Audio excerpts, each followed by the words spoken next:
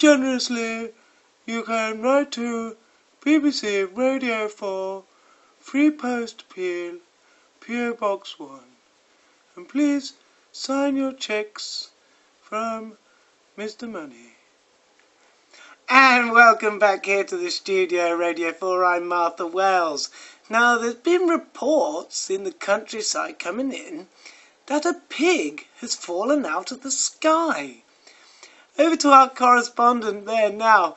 Um, Clive, Clive, are, are you there with the, the man who saw the pig fall out of the sky?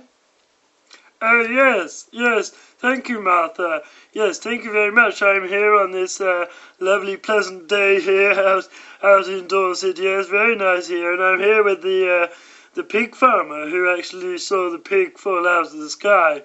Um, isn't it jolly? Isn't it jolly? Yes, yes, sir, Mr. Buckles. Uh, uh, why don't you tell us uh, what what happened?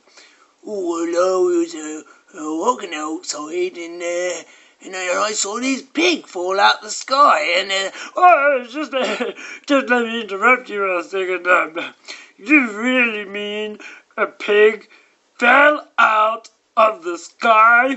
Oh, yeah, that's that's right, that's right. So there's there's this pig. It fell out of the sky, and uh, uh, I just can't believe this. Sorry, I, I have got to hear it one more time. Uh, uh, a pig fell out of the sky.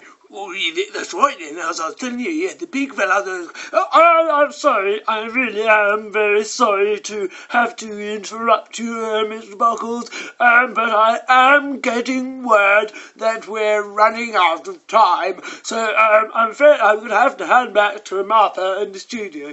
Oh, oh, oh, uh, thank you, Clive. Uh, yes, isn't it amazing? A pig fell out of the sky. Well, Yes. Hmm. Well, well, now I'm back over to our next uh, story here, where we're hearing from a man who's lost a piece of his jigsaw puzzle. Fucking turn this crap off.